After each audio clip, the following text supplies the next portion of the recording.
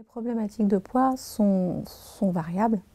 Il y a des gens qui vont venir me voir pour mincir, il y a des gens qui vont venir pour rééquilibrer leur alimentation et d'autres qui vont venir pour des compulsions. Donc c'est vraiment différent. Euh, et ça dépend vraiment de la personne et de sa problématique.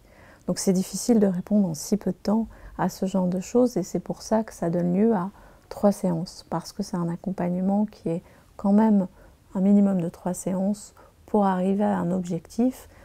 En tout cas, l'hypnose peut aider à rééquilibrer l'alimentation, c'est une certitude. Maintenant, c'est pas parce que vous faites de l'hypnose, si vous ne changez pas du tout votre comportement, même à travers l'hypnose, que tout d'un coup vous allez devenir quelqu'un de complètement différent.